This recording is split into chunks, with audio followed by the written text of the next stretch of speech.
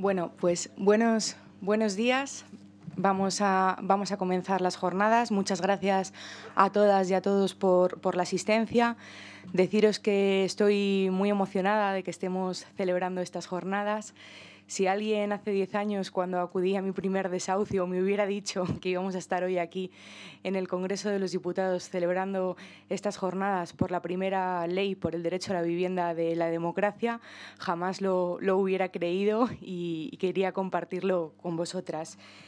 Em, esta, esta, ley eh, creo que es eh, trabajo o consecuencia directa del trabajo constante de los movimientos sociales que no han dejado de ser los garantes últimos del derecho a la vivienda durante, durante esta década que llevamos, que llevamos detrás.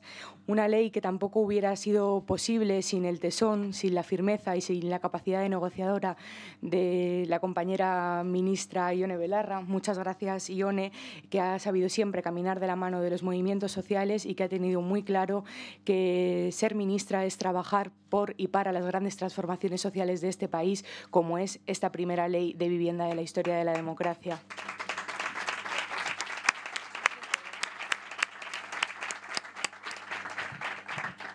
Esta ley creo que supone el punto de partida para reescribir tal y como entendemos el derecho a la vivienda y por primera vez planta cara a la especulación inmobiliaria. Y esta ley creo que va a suponer también un cambio de paradigma para empezar a poner en el centro el derecho a la vivienda. Y sin más, porque creo que estáis deseando escucharlas, doy paso a Ione Belarra, ministra de Derechos Sociales y secretaria general de Podemos, Ada Colau, alcaldesa de Barcelona, y Yolanda Díaz, vicepresidenta segunda del Gobierno y ministra de Trabajo. Muchas gracias.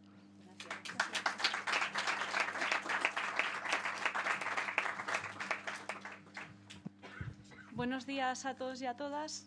Es un placer comenzar la semana temprano en unas jornadas tan importantes como estas y además también acompañada por dos compañeras como son Ada Colau y, y la vicepresidenta Yolanda Díaz, que como las conozco bien, sé que se dejan la piel cada día por mejorar la vida de la gente en nuestro país y que además llevan mucho tiempo demostrando que se puede gobernar y que se puede gobernar de otra manera, trabajando incansablemente por garantizar los derechos humanos y, en concreto, eh, en el caso especial del Ayuntamiento de Barcelona, que se puede garantizar el derecho a la vivienda. Así que es un honor para mí estar en estas jornadas y quería además eh, empezar agradeciéndole también a Alejandra el trabajo que ha hecho durante muchísimo tiempo garantizando el, trabajando por garantizar el derecho a la vivienda, primero en las calles y ahora también en las instituciones, porque también la conozco hace bastante tiempo y ha cogido el teléfono a cualquier hora y sí que ha estado garantizando el derecho a la vivienda en cualquier momento del día y con muchísimo trabajo detrás. Y ella siempre dice, y yo lo he aprendido muy bien, que este derecho, el derecho a la vivienda, es tan importante porque es un derecho que da acceso a otros derechos.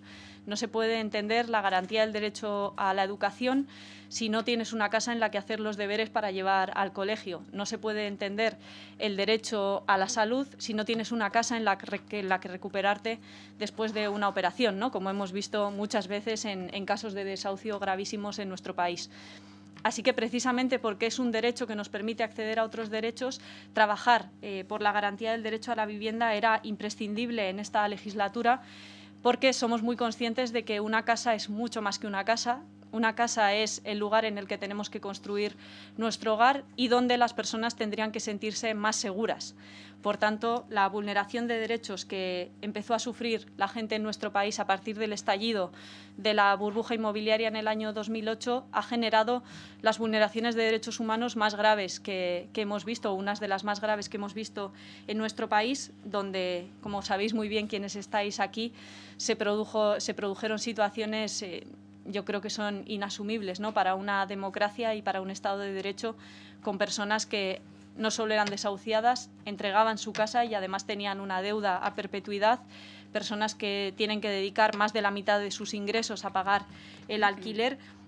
Y frente a eso, yo creo que nuestra gente y la, ciudadanía de nuestro país, los vecinos y las vecinas, dieron quizás la respuesta más hermosa que se puede dar a un problema social, que es eh, poner sus cuerpos para frenar los desahucios, eh, dar lo mejor de sí mismas con empatía y con solidaridad para proteger a sus, a sus vecinos y a sus vecinas que estaban en riesgo de perderlo todo. Yo creo que esa es la respuesta hermosa que dio la gente de nuestro país y que es la que tiene que inspirarnos cuando avanzamos en una legislación que yo espero que sea eh, tan ambiciosa como, como, están reclamando los movimientos sociales y quienes llevan muchísimo tiempo eh, defendiendo este derecho en, en las calles.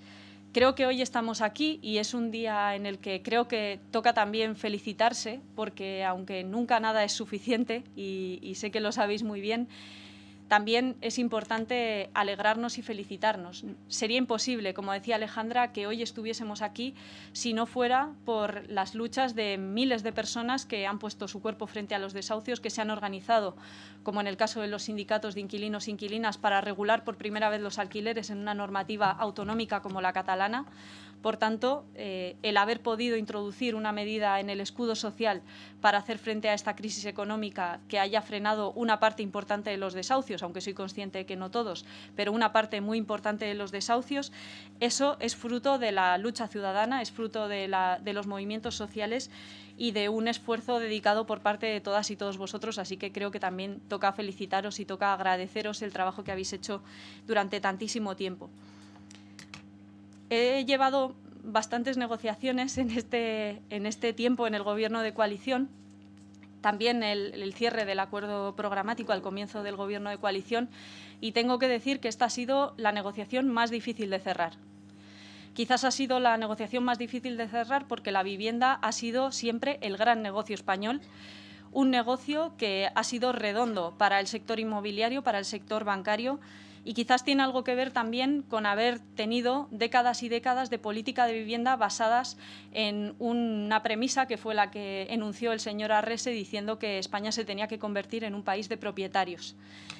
Creo que de aquellos polvos estos lodos y creo también que no hace falta insistir en que si esta ley hubiese dependido única y exclusivamente de Unidas Podemos, habríamos llegado más lejos y habríamos llegado antes. Pero siendo consciente de esto, creo también que hemos llegado muy lejos y que por primera vez va a haber una legislación en este país y quizás, una vez que se apruebe, creo que esta va a ser una de las leyes más importantes de la legislatura, por primera vez la, vivienda va a pasar de ser un bien de mercado a empezar a convertirse en lo que siempre tendría que haber sido, que es un derecho. Como sabéis, esta ley va a permitir regular por primera vez eh, los alquileres en nuestro país a través de una normativa estatal. Las comunidades autónomas van a poder declarar eh, las zonas, zonas de mercado tensionado en función de los lugares que, en los que se hayan producido una subida abusiva de los alquileres en los últimos años y donde los inquilinos y las inquilinas estén teniendo que hacer un sobreesfuerzo económico. Esta declaración, la de zona de mercado tensionado, va a llevar aparejada una regulación que no tiene precedentes en nuestro país, que se inspira en la normativa catalana y que va a obligar a los grandes propietarios a bajar los precios del alquiler por ley, a los índices, y va a obligar a los pequeños propietarios a congelar los precios a la vez que se les ofrecen incentivos fiscales que va a permitir, como se suele decir en un lenguaje un poco más coloquial, pero para que se entienda, les va a salir a cuenta a los pequeños propietarios bajar los alquileres gracias a estos incentivos fiscales Pero somos conscientes también de que los incentivos fiscales implica retraer eh, ingresos públicos para dedicarlos a esta materia, así que pensábamos que necesariamente, como siempre le he escuchado a la alcaldesa Ada Colau, era imprescindible corresponsabilizar a los grandes propietarios de vivienda en la garantía del derecho a la vivienda. Y ese ha sido nuestro leitmotiv en, en, este tiempo y en esta negociación y por eso vamos a financiar la medida de los pequeños propietarios retirando una parte muy importante de los beneficios fiscales que tenían los grandes propietarios que he tildado de lujuriosos, creo que, que, es, gráfico, pero es real. Realmente eran beneficios fiscales lujuriosos que han estado recibiendo en forma de eh, bonificaciones al impuesto de sociedades que pasan ahora del 85% al 40%. Otra de las medidas que yo considero muy importantes de la ley es una medida antiguetos que ya estaban aplicando eh, instituciones como el Ayuntamiento de Barcelona o como la Comunidad Foral de Navarra, que implica eh, reservar el 30% de las nuevas promociones y también de las grandes reformas para vivienda protegida. Y como novedad, dedicar la mitad de esa vivienda protegida eh, al 15% de, alquiler social. Yo creo que esta medida es especialmente relevante y va a suponer un blindaje de las medidas que ya se estaban aplicando en lugares como Barcelona con muy buenos resultados, porque precisamente es la única manera de garantizar que ampliamos de manera decidida el parque de, vivienda protegida y de alquiler social. También vamos a dar eh, herramientas importantes a los ayuntamientos de manera que puedan movilizar la vivienda, vacía a través de implementar un recargo en el, en el IBI hasta el 150%. El objetivo era aquello que también gritábamos en las calles y es que eh, no haya gente sin casa si hay eh, casas sin gente ¿no? y, que la vivienda social y la vivienda vacía se movilice para, para emplear también ese parque de vivienda en alquiler. Y por último, porque no me quiero extender más, aunque la ley tiene muchas medidas, pero quería poner el foco en algunas especialmente relevantes, vamos a acabar con una práctica que ha sido una deshonra para nuestro país, la venta y la recalificación de vivienda protegida, que no volvamos a ver situaciones como las que se ha vivido en el Ayuntamiento de Madrid y en la Comunidad de Madrid, donde se ha mal vendido a los fondos buitre eh, las viviendas protegidas de la clase trabajadora de nuestro país, disponiendo de herramientas legales por primera vez para frenar esta, esta compraventa. Creo que es especialmente importante cuando incluso tenemos instituciones en España que se declaran en rebeldía con el cumplimiento de las sentencias judiciales que, decían que había que recuperar para el parque público esas, esas viviendas protegidas. Y por último, eh, esta ley también anuncia y, avanza algunas de las medidas de protección frente a los desahucios que no tienen precedentes en la historia de nuestro país, en un país en, los que hemos escuchado a veces a responsables políticos decir que lo que tocaba hacer era agilizar los desahucios. Frente a eso, por primera vez eh, anunciamos una regulación de los desahucios que nos permita frenarlos de manera efectiva. Los juzgados van a tener que solicitar obligatoriamente a los servicios sociales un informe de vulnerabilidad y además las comunidades autónomas van a tener la obligación de ofrecer una alternativa habitacional a las personas y las familias en situación vulnerable que tiene que ser en cualquier caso una vivienda digna y nunca un albergue. Soy consciente de que no vamos a poder cambiar la política de vivienda que se ha fraguado durante décadas en nuestro país de un día para otro, pero el camino se hace andando, compañeros y compañeras, y creo que con esta ley empezamos a caminar. Durante la negociación de esta ley muchas veces hemos escuchado que ya era suficiente, que el Partido Socialista nunca iba a ceder y nunca íbamos a lograr una regulación de precios del alquiler que lo dejáramos ya. Esto me lo ha dicho mucha gente, eh, que, ya era suficiente, que no, no íbamos a conseguir moverles más allá.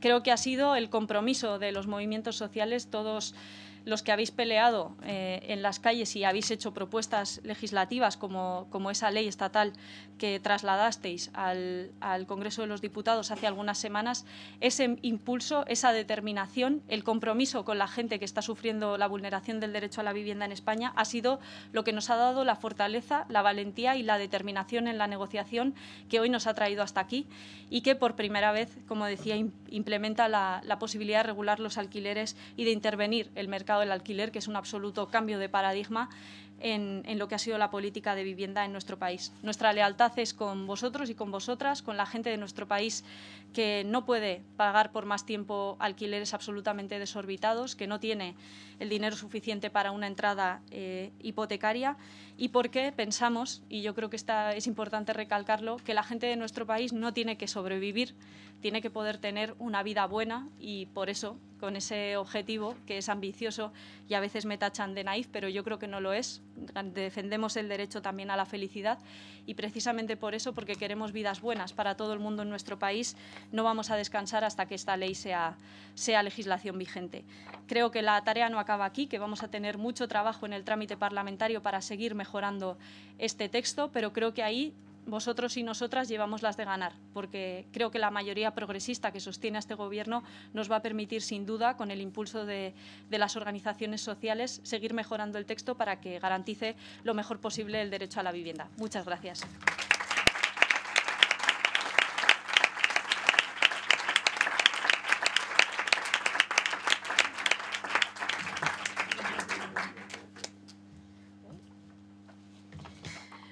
Pues muy buenos días a todas y a todos. Muchísimas gracias también por esta mesa, por estas jornadas y un honor enorme estar aquí con Yone, con Yolanda también, con Alejandra. Realmente mm, es, es una alegría inmensa. Y es una alegría inmensa y es emocionante, realmente emocionante, si miramos un momento atrás, ¿no? No me voy a alargar, lo hacía también Alejandra, pero es que es inevitable, vamos. Son, en, bueno, en, el caso de algunas de nosotras son décadas luchando por el derecho a la vivienda, décadas, ¿no?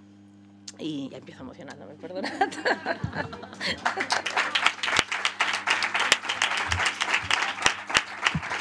No pensaba hacerlo, ¿eh? Estaba muy serena, pero es inevitable. También vale, también vale. Pues sí, nos emocionamos, somos gente que nos emocionamos, sí.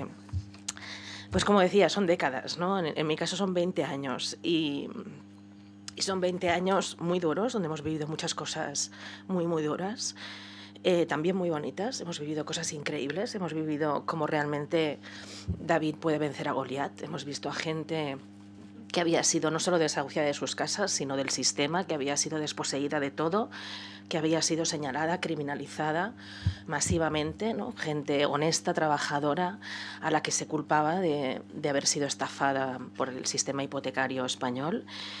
Y hemos visto ¿no? a gente maravillosa levantarse, asociarse, ayudarse, y, enfrentarse a Goliat y ganar muchísimas batallas. ¿no?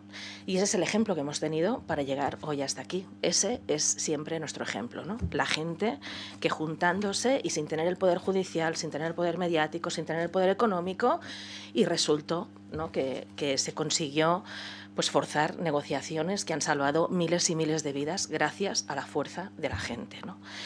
Y esa es, nuestra inspiración, nuestro ejemplo, nuestra demostración de que efectivamente si se puede, no es una consigna vacía, sino que es, es una realidad, que nos lleva hoy hasta aquí, que no es un punto final, sino que es un punto seguido, porque quedan muchas batallas por librar, como decía Yone, pero bueno, es inevitable recordar, ¿no? Como en el 2009, em, aparte de muchas otras batallas anteriores, en el 2009 fundamos la plataforma Afectados por la Hipoteca en Barcelona, cuando no se hablaba del tema, porque la vergüenza era tan enorme que además de estafar a cientos de miles de familias, desahuciar a cientos de miles de familias honestas, trabajadoras, en situaciones de vulnerabilidad, encima vivimos en una sociedad tan, tan enferma y tan mal organizada que el sistema culpabilizaba a las víctimas. ¿no? Y la vergüenza era enorme y un silencio, el silencio era atronador.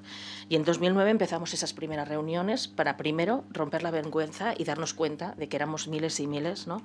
las que veíamos que había habido una estafa colectiva en este país. Fue en 2010 cuando se paró el primer desahucio con la acción colectiva de Stop Desahucios en Bisbal del Penedés, el caso de, Luis, eh, un hombre que llegó desesperado y pero que se convirtió en una persona maravillosa que no solo resolvió su caso y consiguió mantener su casa para vivir con su hijo, sino que además ayudó luego a cientos y cientos de casos más.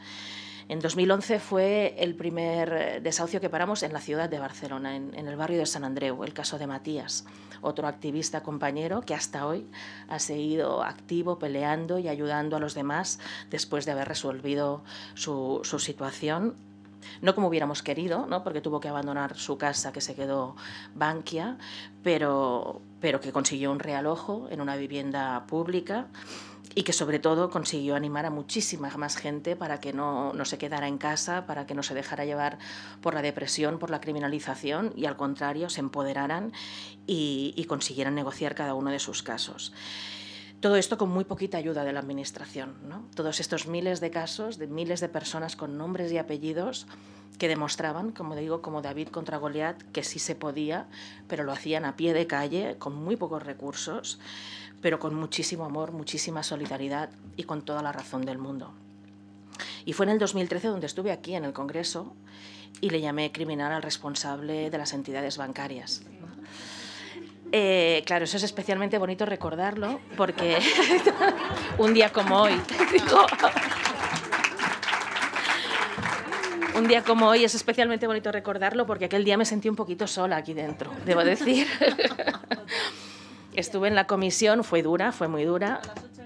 A las 8 de la tarde, impidiéndome conciliar con mi bebé pequeño y pero fue especialmente dura porque yo no había pensado ir allí a constar con la banca, iba a explicar nuestras posiciones y propuestas, pero escuché auténticas barbaridades que, además de rehuir la responsabilidad de la banca, eh, que había estafado a cientos de miles de familias, encima seguía culpabilizando a, las víctimas. ¿no? Y por eso tuve que decir lo que, lo que pensaba la mayoría de la población, que es que la actuación era criminal y que sobre todo los responsables políticos no podían seguir tratando de expertos independientes a quienes eran responsables de una estafa masiva y de destrozar cientos de miles de vidas. ¿no? Y en ese momento, como digo, me sentí un poco sola, aunque con honrosas excepciones que también quiero recordar. ¿eh? Quiero recordar al diputado Coscubiela, que cuando el presidente de la mesa en el Congreso me intentó hacer retirar mis palabras y yo dije que no las iba a retirar y él decía que yo había ofendido a diputados y diputadas, el diputado Coscubiela dijo que él no se había sentido en absoluto ofendido y que no quería que retirara mis palabras. Y por lo tanto también quiero agradecer porque no me sentí completamente sola. Pero bueno, fue un día, fue un día duro, fue un día duro y cuando salí del Congreso también recuerdo la soledad. ¿no? Claro, volver hoy aquí, en esta sala llena, con una ministra que ha peleado la ley de vivienda, con una vicepresidenta que la ha defendido también en todas las negociaciones y en general con un montón de compañeros y compañeras que estáis peleando en el Congreso, en los parlamentos, en los ayuntamientos, porque nos dijeron aquello de, pues si queréis cambiar las cosas, presentaros a las elecciones, pues mira, aquí estamos, ¿sabes? aquí estamos. Entonces, por eso digo que es, que es inevitable emocionarse, ¿no? Pero bueno, hemos entrado a las instituciones no solo para emocionarnos y para, y, para, y para hacer visible lo que antes estaba invisibilizado, sino para evidentemente demostrar que se podían hacer muchas cosas que nos decían que eran imposibles. Y después de todos esos años de activismo, en mi caso en Barcelona, junto con un montón de compañeros y compañeras, y aquí me acompañan muchos, ¿no? Eh, está Vanessa también, que venimos de lejos, y está Gerardo, que venimos también de muy lejos, y Lucía, con quien también fundamos LAPA en 2009, y muchas otras compañeras y compañeros. Pues en Barcelona decidimos dar el paso y, y entramos en el Ayuntamiento de Barcelona y entramos a gobernar y entramos a gobernar eh, y a pesar de tener pocos recursos, porque aquí tengo que hacer la reivindicación municipalista, que, que en este país todavía estamos lejos de otros países europeos, a los ayuntamientos se nos pide absolutamente todo, todo, porque en las ciudades pasa todo eh, y los problemas hay que resolverlos eh, lo antes posible y por lo tanto la ciudadanía se dirige a la administración más cercana. Pero en este país los ayuntamientos gestionamos apenas el 15% de los recursos públicos y no podemos cambiar las leyes. Por lo tanto es especialmente duro enfrentarte a problemáticas como es la de la vivienda con pocos recursos. ¿no? Y aún así, en Barcelona desde el 2015, poniéndole mucha voluntad política y mucha humildad y aprendiendo de movimientos sociales que han demostrado que se podían hacer muchas cosas que nos decían que eran imposibles, pues con esa humildad y con esa tenacidad Hoy tenemos el orgullo de poder decir que Barcelona es eh, la ciudad que está construyendo más vivienda pública de alquiler social de todo el Estado español. Eh, nos encontramos con un miserable, pírrico, ínfimo parque de viviendas de, de 7.000 viviendas públicas y al final de este mandato pues vamos a llegar a unas 12.000, por lo tanto casi vamos a doblar el parque de vivienda pública que nos encontramos.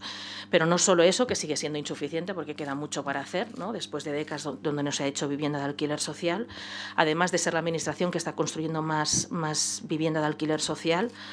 También estamos innovando y estamos buscando todas las fórmulas posibles. Estamos comprando vivienda a precio inferior de mercado a través del tanteo y retracto y ya hemos comprado unas 900 viviendas también por esta vía para aumentar el parque público. Estamos innovando también con, con nuevas formas de alojamiento para la emergencia social, modulares de producción industrial eh, que acaban de ser reconocidas y premiadas por la Comisión Europea con los premios Bauhaus. Eh, hemos innovado también eh, para hacer frente a la emergencia y aprendiendo de la experiencia de los movimientos sociales con una unidad antidesahucios que no existía y nos decían que no se podía hacer y hemos creado una unidad antidesahucios que trabajado codo con codo con, con entidades vecinales y movimientos sociales, pues ha paralizado 10.000 desahucios, que se dice rápido, son un caso a otro, nombres y apellidos, familias enteras, ¿no? 10.000 desahucios donde hemos hecho mediación, en lugar de dejarlo en la solución judicial y policial, hemos hecho mediación, se ha buscado una solución alternativa y se ha conseguido.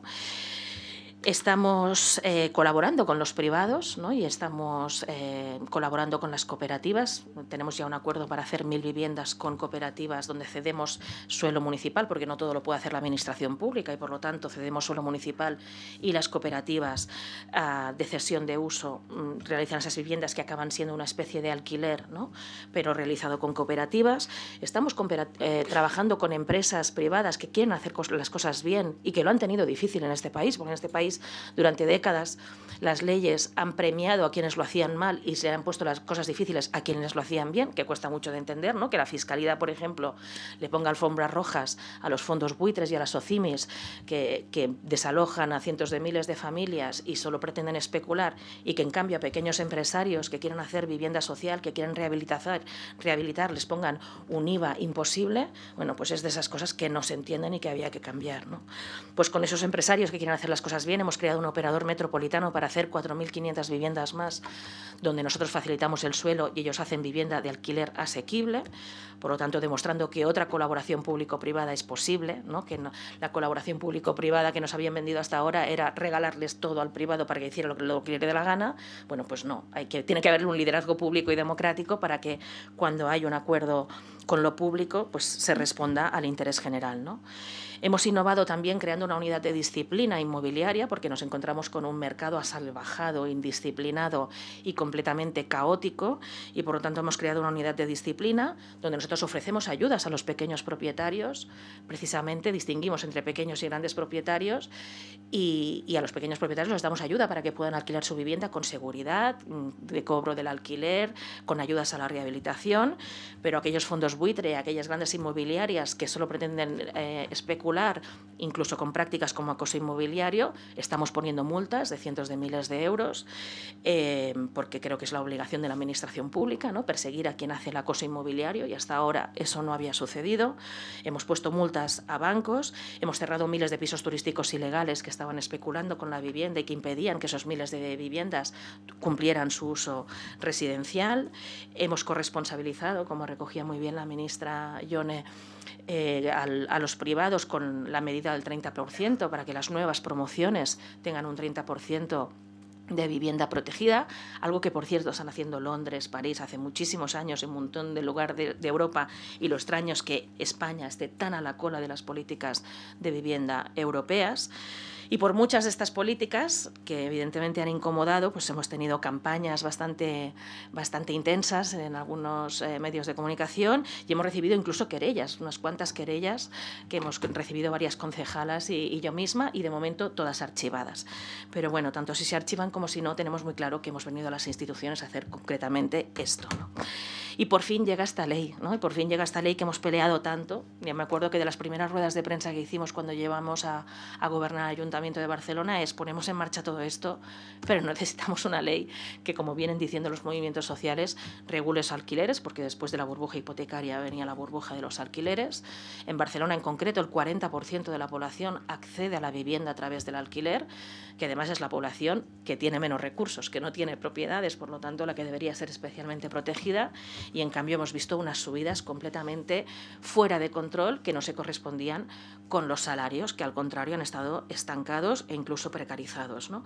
Por lo tanto, con ese desequilibrio, con ese desfase entre sueldos, ingresos y alquileres, desde el primer momento situamos como prioridad que pudiera haber una ley que regulara los alquileres, como pasaba en otros lugares de Europa, y al mismo tiempo una ley también conscientes de que se ha hablado mucho de esto, porque efectivamente el Partido Socialista era muy, muy reacio, como lo ha sido durante décadas, ¿no? era muy reacio porque es, es, evidente que el Partido Socialista ha sido muy cercano a los sectores inmobiliarios, como también el Partido Popular, y que esto era para ellos una línea roja porque significaba efectivamente decir que el sector público debe poner reglas del juego en aquello que son derechos fundamentales, faltaría más, ¿no? igual que estamos haciendo también con el tema de la luz. Entonces, en ese debate que siempre ha sido tan difícil, pero finalmente con el acuerdo de gobierno se arrancó ese compromiso, se volvió a firmar en los presupuestos y además firmado personalmente por Pedro Sánchez y sin embargo se dilataba y se dilataba. ¿no? Bueno, pues realmente gracias por persistir, por conseguirlo. Sé que la negociación ha sido durísima y que esto finalmente es un cambio de paradigma por el que hemos peleado durante, durante décadas. ¿no? Así que finalmente aquí está la regulación de los alquileres, pero que no puede limitarse a la regulación de los alquileres. La ley del derecho a la vivienda, efectivamente, siempre lo hemos dicho, venimos de, una, de una situación tan árida y tan precaria en políticas de vivienda que una sola medida no va a resolver el problema de la vivienda. O sea, evidentemente esa ley tiene que incorporar también presupuestos serios en políticas de vivienda. Es una vergüenza los presupuestos pírricos que el Estado español ha dedicado a hacer vivienda pública. En, Barcelona lo tenemos que hacer prácticamente a pulmón porque los presupuestos son ínfimos. ¿no? Eh, evidentemente hay que enfrentar la emergencia y, y distinguir lo que son situaciones de desahucio de personas en vulnerabilidad, de personas que no están en vulnerabilidad, que la ley no haya hecho esa distinción hasta ahora es literalmente criminal. ¿Cómo puede ser que alguien que deja de pagar por mala fe se trate exactamente igual que una familia honesta trabajadora que deja de pagar porque se queda en el paro o por una situación sobrevenida como puede ser una enfermedad, etcétera? Si es que es una atrocidad democrática que se trate igual a un delincuente que a una familia honesta vulnerable. Entonces, eh, evidentemente hay que enfrentar esa emergencia de manera muy distinta. Cuando son familias vulnerables tiene que instalarse siempre la mediación y dejar de enviar a policías antidisturbios y, judicializar eh, de la peor manera posible todas esas situaciones que suficientemente duras son ya como para que encima la respuesta de la Administración sea enviar antidisturbios. ¿no? Por lo tanto, solo mediación en los casos de vulnerabilidad, presupuestos suficientes a la altura europea y revertir esa barbaridad fiscal ¿no? que, como comentaba también Joné, pues que en este país se le han puesto rojas y han pagado cero impuestos los que más especulaban y quienes querían hacer las cosas bien se les ha puesto la vida imposible, ¿no? Los empresarios que han querido rehabilitar o hacer vivienda social, 21% de IVA, pues una barbaridad que atenta al sentido común, ¿no?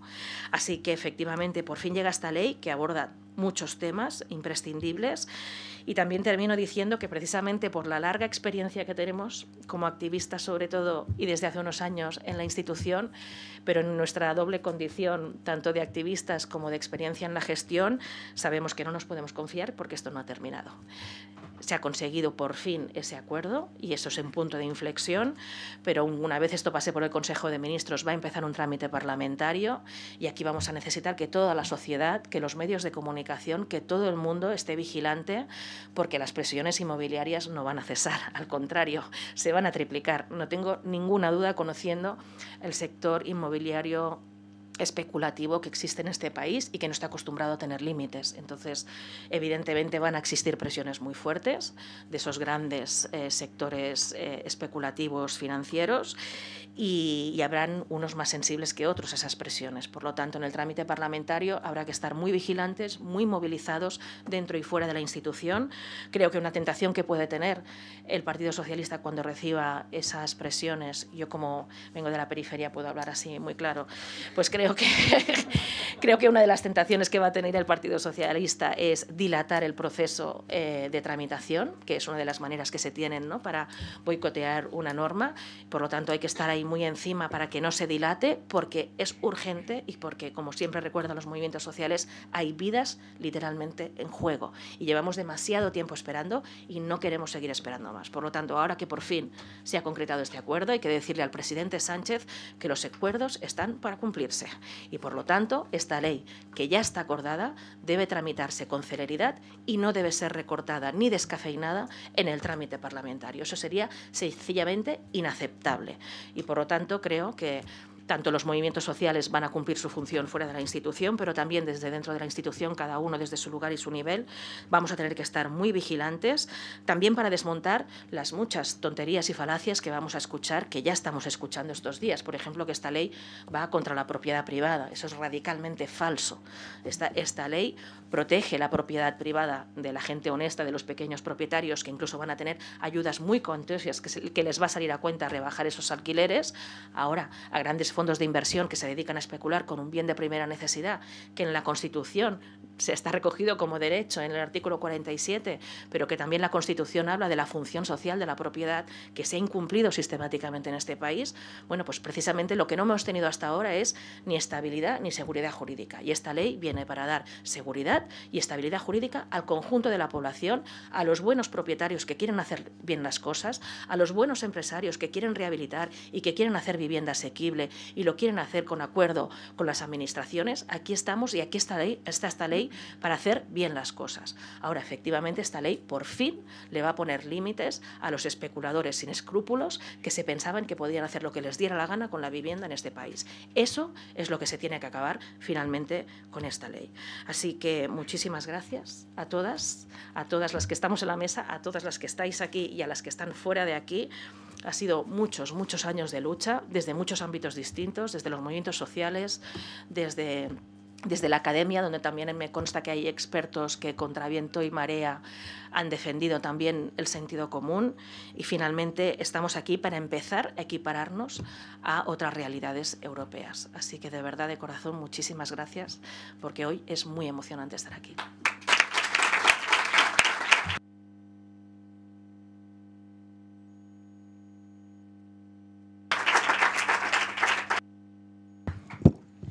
Bueno, buenos días a todos y a todas. Eh, yo estoy especialmente contenta por la mesa en la que estoy. No puedo más que daros las gracias por varias razones. La primera, porque mm, los afectos en política eh, son los que nos permiten a veces sobrevivir.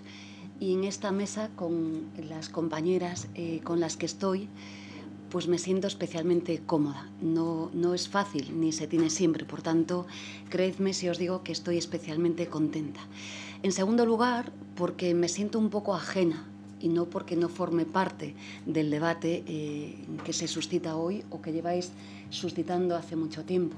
Pero es verdad que tanto en mi campo profesional, incluso en mi dedicación pública, no me he eh, dirigido eh, a la defensa de la vivienda y por tanto de verdad quiero en nombre propio y colectivo daros las gracias a las mujeres que me acompañan y a todas las personas que hoy estáis aquí que voy a poner algunos nombres eh, porque he vivido cosas con ellas, que me han enseñado muchísimas cosas y sobre todo algo maravilloso en la vida pública que es eh, defender siempre la dignidad y no equivocarse de bando.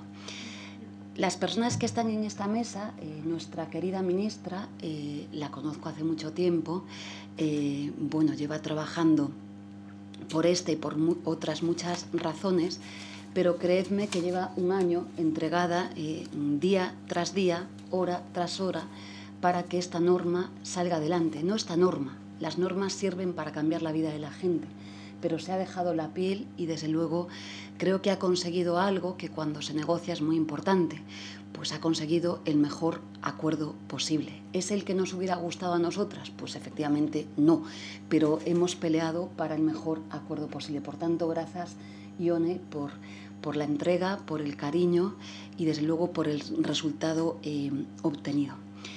En el rostro de nuestra querida Alejandra pongo ese rostro al que nunca miramos y que siempre defiendo, que son las profesionales.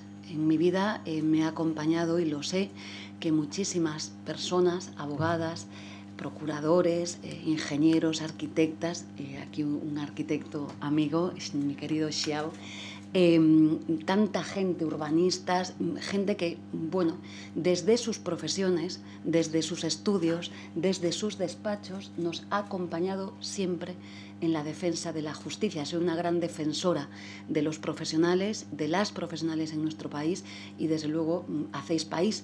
Y todos los activistas, todos los movimientos sociales, todos los movimientos sindicales que también están hoy aquí, que desde luego tienden la mano para construir un país eh, mucho más habitable. Y dejo para, para el final a nuestra querida Ada, que junto con Lucía y otras tantas personas ¿no? Eh, nos han enseñado tantas cosas. Pero para hablar hoy de Ada, voy a citar un artículo de mm, Jordi Amat ayer en El País, que creo que decía algo que nos ha de hacer pensar. Y es que decía que Ada, y esta Ada somos nosotras, en definitiva, somos el plural, el común, es una amenaza y es una amenaza, mm, decía ayer en ese artículo eh, Jordi Amat, porque en definitiva lo que está haciendo es eh, desnudando las injusticias.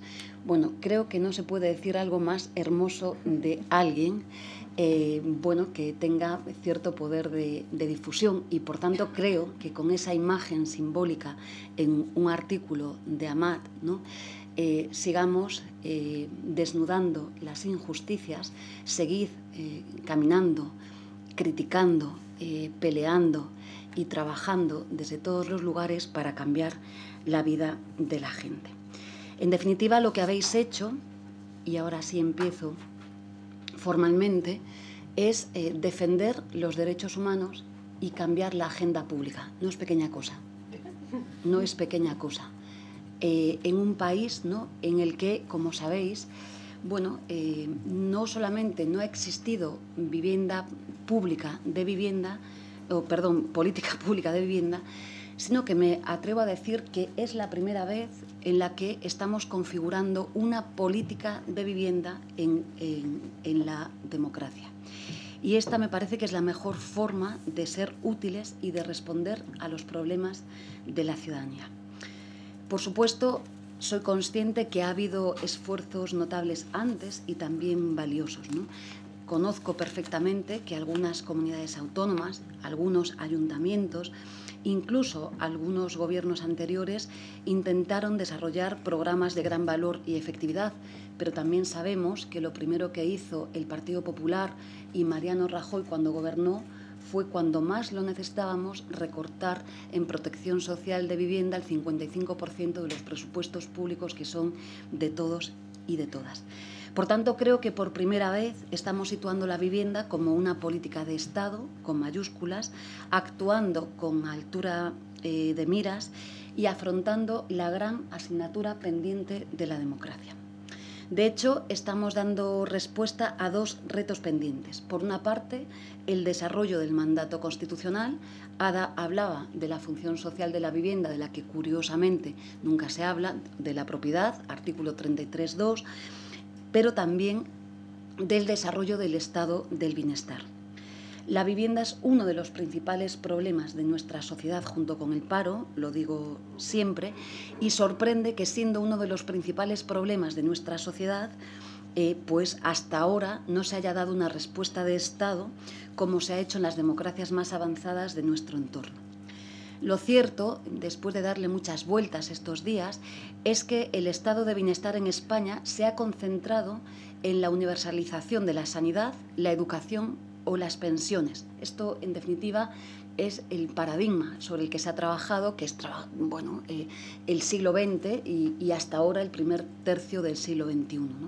Pero, como sabéis, ha dejado siempre eh, fuera las cuestiones centrales de las condiciones de vida materiales de la gente, sustancialmente, como digo, la vivienda, el derecho a la vivienda y eh, el trabajo decente. Y no es casualidad que haya sido así. Creo que una democracia avanzada necesita una base material firme, que sus ciudadanos y sus ciudadanas dispongan de unas condiciones de vida adecuadas. Nuestro estado de bienestar y la calidad de nuestra democracia se miden también en la mejora de estas condiciones materiales de vida digna. Por decirlo en términos de las Naciones Unidas, la vivienda y el empleo de calidad están en la base del desarrollo humano de nuestra gente. Hablaba Ada del 33.2, yo hablo del artículo 47 de la Constitución que nos da un mandato claro y procedo a leerlo textualmente. Dice, todos los españoles tienen derecho a disfrutar de una vivienda digna y adecuada y exige este precepto a los poderes públicos que promuevan las condiciones necesarias y las normas pertinentes para hacer efectivo este derecho. Los derechos, si no son efectivos, no sirven insistiendo expresamente, como hace este artículo, en prohibir, impedir la especulación. Toda una constitución hablando de especulación. Creo que quedaba clara cuál era la voluntad de los constituyentes y cuáles, por tanto, eran los peligros que el constituyente ya observaba en el año 78 respecto del mercado inmobiliario y del propio alquiler de la vivienda. En realidad, el paradigma anterior se ha desatendido del mandato constitucional y también del derecho a la vivienda. Durante este tiempo eh, apenas ha habido eh, política de vivienda a nivel de Estado, como he dicho, y para muchos, parafraseando a aquel eh, conocido ministro, parece que la mejor política de vivienda fue aquella que no ha existido. y que no haya política de vivienda significa que no existen objetivos democráticos, que no existen instrumentos públicos para atender a los problemas de la gente. Quiere decir que los responsables públicos claudican de sus responsabilidades y esto es justamente lo que ahora empezamos a cambiar.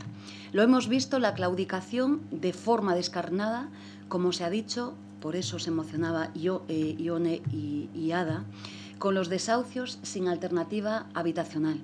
Esa injusticia y ese dolor que estamos combatiendo con el escudo social, que es insuficiente, y con las múltiples medidas desplegadas para erradicarlos. Cuando el único objetivo es el negocio, el resultado es conocido, se llama especulación. Le llamamos ley de la selva, pero en realidad es falta de la ley. Las normas sirven para proteger a la gente. Y ya sabemos lo que produce la falta de ley. Produce desigualdad, escasez, imposibilidad de acceder a una vivienda digna y en este caso, lo ha dicho Ada también, un enorme desequilibrio. Precios inasumibles, miles y miles y miles de viviendas vacías, mientras hay personas que no tienen acceso a las mismas y miles y miles de familias que quieren habitarlas. Como sabéis, España tiene el parque de viviendas en alquiler más bajo de todos los países de nuestro entorno en eh, bueno, materia social. De hecho, según Eurostat, dedicamos tan solo el 2,5% al conjunto de estas viviendas, mientras que eh, en la Unión Europea esta cifra se multiplica por cuatro o, como he dicho estos días, un país como Alemania mm, pues, tiene 12 veces más eh, su proyección de inversión en esta materia. Escasísimas viviendas sociales en alquiler, miles de viviendas vacías pendientes de rehabilitar, precios inalcanzables en las ciudades, grandes tenedores de viviendas que alimentan la espiral alcista de los precios, millones de familias que asignan la mayor parte de sus salarios a la vivienda, millones de jóvenes incapaces de formar un hogar porque no pueden pagar un alquiler. Esto es España, esta es la realidad, es nuestro país. Permitir que la especulación se adueñe de nuestras vidas significa que la mayoría de las familias deterioren sus recursos, su bienestar y su capacidad de consumo, destinando sus ingresos mayoritariamente a la vivienda. Las familias españolas destinan un 40% de su renta al pago del alquiler, que en los casos de las zonas más tensionadas o de las familias más humildes se pueden situar alrededor del 70% el 40% de media frente al 24% de la media de la Unión Europea. Esto no tiene ningún tipo de justificación, ni social, ni urbanística, ni económica. Esta nueva ley es una norma a favor, a favor de la gente, a favor de un mercado de vivienda que tiene que ser equilibrado. Que nadie se confunda, no está en contra del mercado, está en contra de la especulación y del abuso lo que literalmente, por cierto, nos exige nuestro mandato constitucional. Con esta nueva ley vamos a poner orden en el mercado de la vivienda. Estos días hemos visto a diferentes dirigentes del Partido Popular señalar que en los ayuntamientos y en las comunidades autónomas en las que gobiernen van a ser eh, rebeldes y no van a aplicar la ley. Ya veremos lo que acaban haciendo aquellos dirigentes del PP que gobiernan y que, por cierto, por gobernar, tienen que hacerse cargo de los problemas de la, ciudadanía. Y ya veremos, si no lo hacen, cuál es el veredicto de la ciudadanía cuando se abran las urnas. Lo que es evidente es que Pablo Casado no sabe lo que supone vivir de alquiler en nuestro país. Cree que le sale rentable electoralmente bloquear su aplicación. Debería de pensarse, de repensarse, Pablo Casado con lo que está haciendo. Creo sinceramente que el Partido Popular se equivoca y ya habrá tiempo para que los españoles y las españolas le saquen de su error. De hecho, esta ley tiene toda la voluntad de contar con los pequeños propietarios y propietarias de viviendas. En los lugares donde los mercados de viviendas son equilibrados, el, el, Estado juega un papel mediador que va a favorecer a todas las partes. Las personas propietarias disponen de mayor seguridad y mayor garantía de ingresos. Las personas inquilinas acceden a una vivienda digna con precios más bajos y estables. Y los poderes públicos asumimos nuestra responsabilidad con regulación, capacidad de mediación e inversión para dar respuestas efectivas al problema de la vivienda. Pensemos que estamos hablando de hogares, de familias, de seres humanos que tienen un lugar donde vivir, un lugar donde habitar y desarrollar su vida. Ya sabemos que los bienes inmuebles eh, tienen valor de mercado, pero para los responsables públicos de vivienda, eh, sobre todo, son una cosa, derechos. Es, en definitiva, tener el valor del hogar, el valor del barrio, el valor de la ciudad, del pueblo, de las sociedades que queremos construir y los lugares que queremos habitar. Esto es el cambio de paradigma, situar las personas en el centro, dar respuesta a lo que es uno de nuestros mayores problemas sociales, en especial de las personas más jóvenes y no tan jóvenes, a quienes les parece imposible incluso poder formar un hogar. El nuevo paradigma en realidad significa europeizar nuestra política de vivienda. Nuestra ley utiliza los mecanismos de los países más avanzados en materia de vivienda para poder obtener unos resultados semejantes. Y los instrumentos principales son la construcción de vivienda pública, la incorporación de viviendas vacías para que puedan y deban ser habitadas y establecer unos precios equilibrados en los alquileres. Precios equilibrados significa establecer mecanismos que reduzcan los precios en los lugares más tensionados y evitar el mandato constitucional, la especulación. Las propuestas más avanzadas regulan y median, porque la clave es que podamos incorporar viviendas vacías al mercado y establecer precios accesibles y seguros. Por eso es importante el equilibrio un gobierno responsable no puede, como se ha hecho estos días, enfrentar a propietarios y a inquilinos. Es insultante desconfiar de los inquilinos como una amenaza para la vivienda, igual que es absurdo desconfiar de los pequeños propietarios. Tenemos, por tanto, que recuperar el equilibrio. Queremos seguridad y estabilidad para los propietarios y también para los y las inquilinas. Esta situación insostenible no solo es un perjuicio para los inquilinos que se ven abocados a la precariedad, sino que también es un perjuicio económico para el país que detrae ingentes recursos que podrían destinarse a la economía productiva, al consumo de proximidad o a esos gastos en el barrio que mueven de verdad la economía de un país y hemos de hacerlo con una visión moderna que permita entender la vivienda como una forma de habitar el territorio, de habitar la ciudad. El derecho a la ciudad que nos indicaba Lefebvre nos recuerda que tenemos que pensar el espacio en su conjunto y nosotras queremos ciudades y pueblos integradores que promuevan la convivencia, la inclusión y el arraigo de sus gentes a un lugar del que se sitúan, eh, se sientan parte. Decía la urbanista Jane Jacobs que las ciudades tienen la capacidad de proporcionar algo para todo el mundo, solo porque y solo cuando se crean para todo el mundo. A esto aspiramos, a un país, un país integrado que necesita a toda su gente para poder vivir en común. Y esto es lo que también están haciendo nuestras experiencias municipalistas, con ADA a la cabeza, porque Barcelona no solo es un ejemplo de ayuntamiento que desarrolla una efectiva política social, que lo hace, ella siempre recuerda eh, la inversión eh, en términos mm, sociales, sino también económica y urbana a través de la vivienda. Creo que hoy Barcelona es un faro, una de las principales referencias que inspiran esta ley. Gracias, Ada Gracias a todo su equipo y a todos y a todas vosotros por lo que hacéis. Para mí, estas jornadas significan un rico debate en una materia principal y espero que de aquí salgan ideas eh, que sean útiles para legislar y para gobernar, para cambiar la vida de la gente. Un prometedor debate que aborda las cuestiones claves de la ley, como dije, el desarrollo constitucional a la vivienda, o como creo que debemos de alcanzar ya que es configurarlo como un nuevo pilar del estado del bienestar en los diferentes instrumentos legislativos, ejecutivos y judiciales.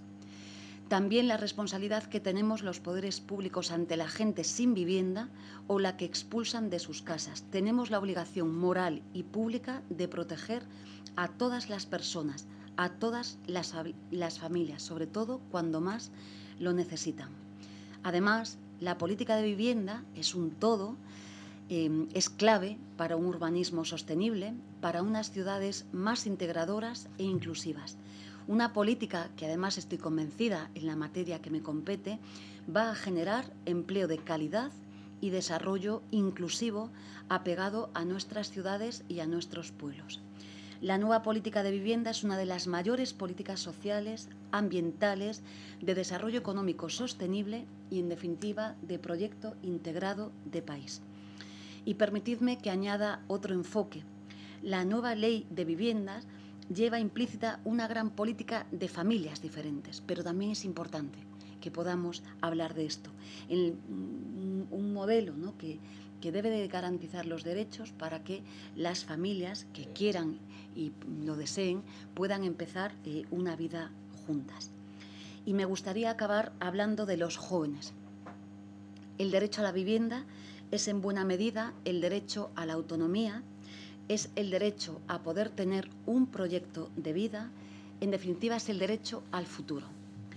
La precariedad laboral y la imposibilidad de acceder a una vivienda digna pone en riesgo el futuro de nuestros jóvenes y pone en riesgo el futuro de nuestro país. Creo que no se lo merecen y nuestro país tampoco se lo merece. Por eso estamos actuando pensando en el mañana y en el hoy.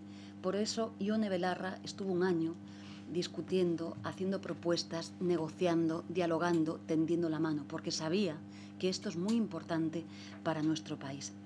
Estamos abriendo un, cambio de paradigma que combina la acción a medio plazo a través de la creación de vivienda pública o la regulación de los alquileres, con los incentivos a corto plazo, con incentivos fiscales o actuaciones directas sobre el alquiler. Un nuevo paradigma para un nuevo país, nuestro proyecto de país es, y es lo que más me gusta, lo más humilde y lo más ambicioso. Queremos que toda nuestra gente pueda vivir su vida con dignidad, no es pequeña cosa, donde la democracia y el bienestar lleguen a todos los rincones y todo el mundo pueda tener un trabajo, un hogar y la vida que quiera vivir. La política de vivienda está llamada a ser un nuevo pilar del estado de bienestar. Un Estado que quiera realmente hacerse responsable del bienestar de todos y todas. Y esto creo que lo estamos resituando nosotras, lo habéis resituado vosotras con vuestros trabajos, con vuestras eh, luchas, con vuestras propuestas. Esta ley solo es el inicio. Como ha dicho Ada, e Ione y Alejandra, queda un enorme camino por delante que tenemos la obligación de desarrollar pero creo que partimos de un punto de partida importante para avanzar.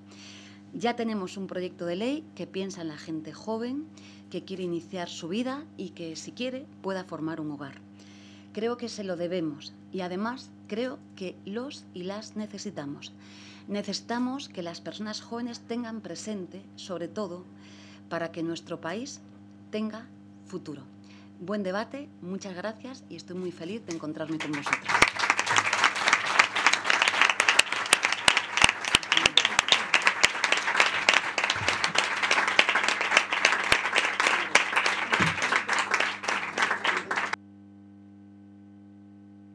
Bueno, pues muchísimas, muchísimas gracias. Vamos a, a, seguir con la siguiente mesa, que ya de hecho la ha introducido Yolanda, la política de vivienda como pilar para garantizar el estado de bienestar. Muchas gracias.